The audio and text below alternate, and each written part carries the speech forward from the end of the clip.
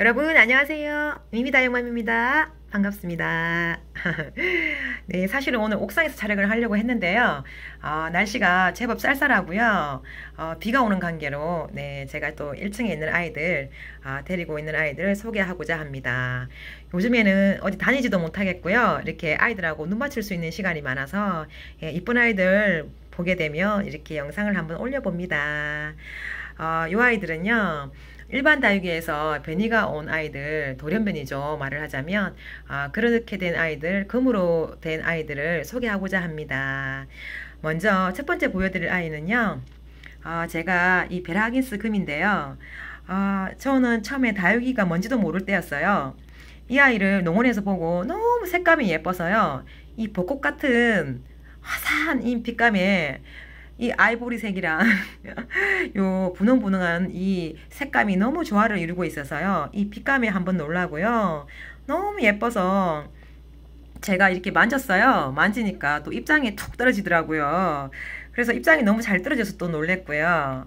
지금 이 아이는 처음에 데리고 올 때보다 아, 이렇게 머리가 많이 길어가지고요. 이게 지금 자기 키를 훌쩍 넘었는데요.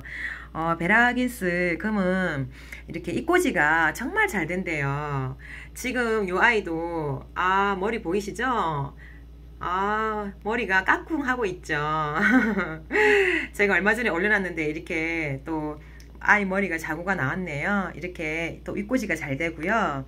음, 이 아이는 또 적심을 하게 되면요. 그 적심한 자리에서 여러 아이 머리가 나와서요. 그 적심한 자국이 표가 안 난다고 합니다. 너무 예쁘죠? 이렇게 길이가 길어서 롱화분에 이렇게 심어줬습니다. 아, 너무 예쁩니다. 그리고 다음 아이는요. 앞전에 영상에서 한번 소개시켜드린 아이인데요. 어, 가장 최근에 드린 아이예요. 이 버클리 금이라고요. 어, 제가 어, 사는데 많이 이제 고심을 한 아이인데요. 어, 이 아이는 자라는 시기는 별로 이쁜 줄 모르다가요. 이렇게 빛감이 드는 시기에 가장자리에 핑크빛이 가장자리를 딱 이렇게 어, 빛을 이렇게 띄고 있으면요. 이 아이가 너무 사람들을 매혹시킬 정도로 예쁜 색감으로 바뀐답니다. 그래서 어, 많이 구매를 했다가요. 이 아이의 까칠함에 요즘에는 수요가 별로 없고요. 매니아 분들만 이렇게 키운다고 합니다.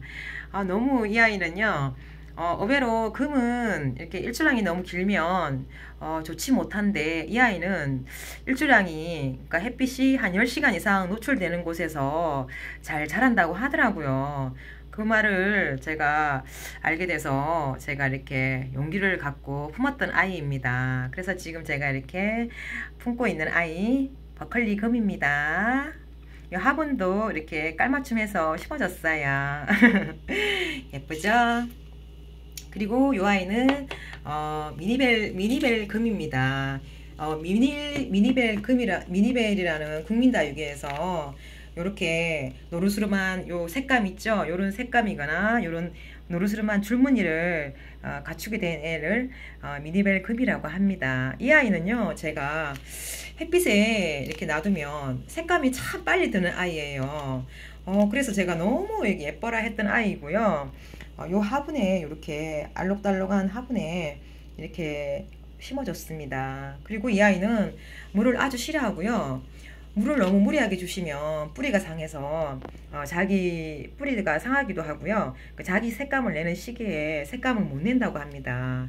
그리고 봄, 여름, 가을에는 성장을 하는 시기는요. 이렇게 그냥 이쁜 줄을 모르다가요. 어, 겨울에는 성장을 하는 게 아니라 이렇게 예쁜 색감을 낸다고 합니다. 너무 예쁘죠? 요 미니벨금요.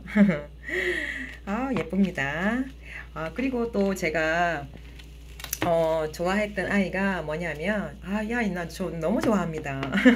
이 아이 크라슐라 크라슐라 희성 희성금입니다. 이 아이는요. 희성금이에요. 희성은 위에 옥상에 있는데요. 지금 이 아이는 어, 다른 일반 금들의 다육 금들에 비해서 물을 아주 좋아합니다. 제가 이, 이 아이 저렴미 아이들인데요. 지금 이 아이 천 원인가 이천 원 하는 포트 사다가 두 개 사다가 합식해서 심어줬어요. 이 화분에.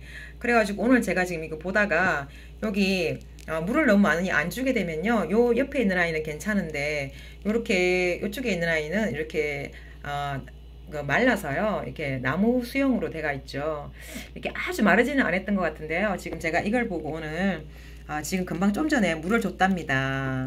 희성감 너무 예쁘죠. 지금 어, 날씨가 많이 흐린 관계로 이거 예쁘게 빛감은 다 빠졌는데요. 아, 너무 얘 탑돌이라 그러죠. 너무 예쁜 모습에 제가 이 아이를 참 많이 예뻐합니다. 아, 뭐 다육이는 안 이쁜 아이들이 없겠지만요. 정말 이 아이는 예뻐요. 이게 보면 볼수록 이쁜 아이가 요런 아이더라고요. 아, 네. 그리고, 어, 그리고 요거는 제가, 어, 이렇게 그냥 얻어온 아이, 서비스 받아온 아이라고 해야 되죠? 석연아 금입니다. 요 석연아가 어떤 아이냐면 저희 집에 제가 있어서요. 요 석연아죠. 요 아이 제가 다육생활 처음 시작할 때부터 같이 있었던 아이인데요. 어, 제가 2,000원 주고 구매했던 아이인데 이렇게 많이 컸어요. 지금 옥상에서 계속 이제 햇빛을 보여주고 하다 보니까 이렇게 예쁜 색감을 띠고 있는데요. 이 아이 제일 처음에 제가 뭣도 모르고 어, 농장에서 데리고 올 때 깍지벌레가 있었어요. 깍지벌레가 있는 관계로 제가 모르고 약을 좀 심하게 얼굴에 품었어요. 그래가지고 지금 여기 흉터 자국이 보이죠? 제가 초보라 이런 실수를 했답니다. 근데 지금 그 아이들 입장이 많이 자라서 이렇게 예쁜 색감을 띠고 있네요. 네, 너무 예쁘죠? 통통하니. 어, 비보약을 먹어서 지금 입장이 굉장히 통통하고 이쁘네요. 요게 석연하고요. 요 아이가 석연아 금입니다. 그리고 제가 또 이제 어, 어 최근에 이제 요 신혼이라는 아이가 어 이게 한 한 달 됐나? 네. 제가 이 신혼이란 신월이라는 아이가 너무 신비스럽더라고요. 얘가 성장할 때는 이 뱀 허물처럼요. 이, 이, 이게 바깥 입장, 이, 이게, 이게 뱀 허물 벗듯이 이렇게 탈피를 하더라고요. 그리고 그게 뻗어지고 나면은 또 입이 입장이 성장을 하고 그렇게 하는 모습을 보고 너무 신비스럽고 그래서 제가 요 신호를 구매했는데요. 어, 요 아이랑 비슷한 아이가 요 언어리죠. 은솔이라고도 하고 그죠. 요 아이 제가 너무 잘 키우고 있어서요. 그때 이제 용기를 얻어서 이 아이를 이제 데리고 온 아이입니다. 지금 데리고 온 아이는 다 알고 보면 국민 다육이죠. 다 원래 이제 요 미니벨도 국민다육이고요. 이제 검으로 바뀌기 전에 요 베라 하긴스도 보면은 어, 검으로 되, 지 않은 아이는 좀 저렴한 아이죠. 요 아이도 어, 이 아이를 2,000원인가 하는 포트 하나 이렇게 심어준 거예요. 지금 이렇게 잘 자라고 있는데요.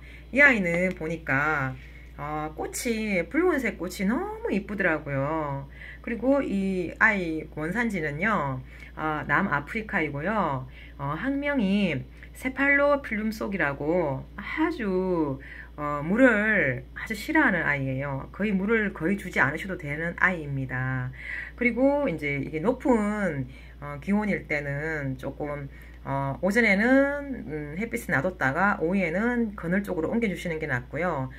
아주 건조할 때만 이제 한 달에 한 번 내지 두 번 정도 물을 주시면 되는 아이더라고요. 네, 그래서 제가 이렇게 저희 집에 있는 아이들 어, 이렇게 제가 예뻐하는 아이들 오늘 제가 이렇게 여러분께 보여드립니다. 항상 여러분들 건강 챙기시고요.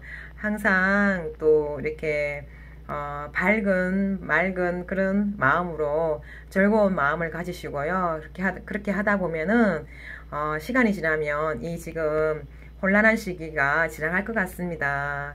힘을 내시고요. 여러분 화이팅입니다. 이미 몰러갈게요. 안녕히 계세요. 구독, 좋아요도 부탁드릴게요.